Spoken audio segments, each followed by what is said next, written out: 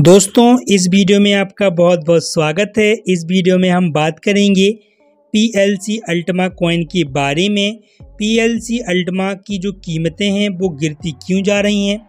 थोड़ा सा market pump होता है, फिर इसके बाद जो पूरा मार्केट है डंप हो जाता है, यानी डीप में चला जाता है।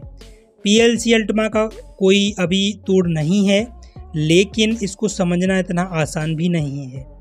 क्योंकि दोस्तों PLC अल्टमा की जो कीमतें हैं काफ़ी अच्छी पंप हुई थी लेकिन अभी पूरा जो मार्केट है फिर से डीप में आ चुका है।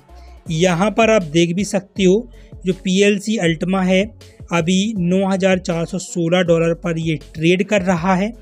24 फोर आवर्स का जो ग्राफ है इसको हम देखें तो 10,250 डॉलर से अभी ये थोड़ा सा डीप में आया और कुछ इस तरह का जो सेफ़ है वो अभी मार्केट में बना के रखा है।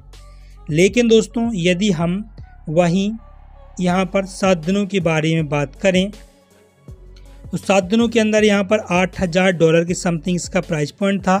फिर यहाँ पर आप देखें तो बारह हज़ार से भी ज़्यादा जो डॉलर था दोस्तों, यानी मतलब बारह हज़ार प्लस जो डॉलर थे वो यहाँ पर पहुँच चुके थे। फिर यहाँ पर पूरा मार्केट यहाँ पर फिर से डंप हो चुका है। कुछ इस तरह का ट्रायंगल शेप में इसका जो आकार है वो बना हुआ है। लेकिन दोस्तों, इसको अभी समझ नहीं आ रहा है कि पी एल सी अल्टमा भी और डीप में जाएगा।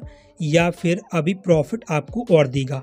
यहाँ पर बात करें तो सत्रह परसेंट ये अभी अप है सात दिनों के अंदर, लेकिन 24 घंटों के अंदर minus seven point four six percent दोस्तों ये डीप में चल रहा है।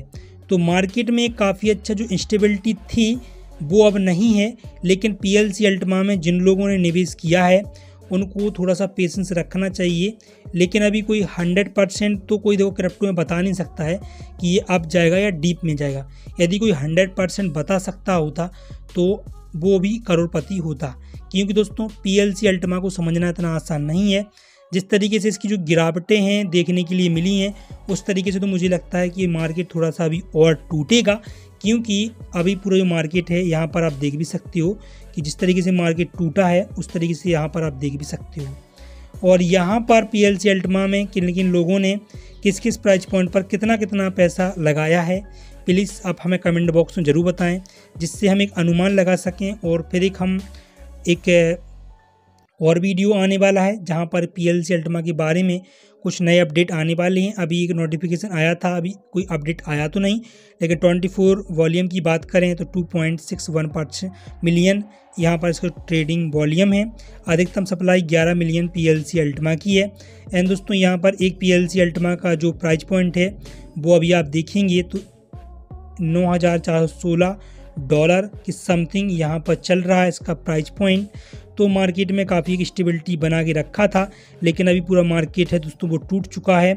और मुझे नहीं लगता है कि अभी ये फिर से अभी थोड़ा जल्दी से रिकवर होगा, लेकिन दोस्तों यदि आपने इसमें निवेश करके रखा है और यदि आपको लॉस हो रहा है तो मैं आपको कोशिश करूँगा कि थोड़ा सा आप पेशेंस रखें पी एल सी अल्टमा आपको प्रॉफिट देगा जो कि आपकी माइनिंग हो रही होगी, उससे भी आपको प्रॉफिट होगा, जो आपका पैसा है, जो आपने लगाया है, वो निकल आएगा। यहाँ पर आई एन में बात करें तो सात लाख सैंतालीस हज़ार नौ सौ दस रुपीज़ पर इसका जो प्राइस पॉइंट है eight point five five percent दोस्तों ये डीप में चल रहा है। और यहाँ पर इस तरीके से जो मार्केट है, वो मैंने आपको दिखाया है मेंशन कराया है इस वीडियो के अंदर। और यहाँ पर भी आप देखें तो पूरा जो प्राइस पॉइंट है और जो ग्राफ है, वो भी टूटा है।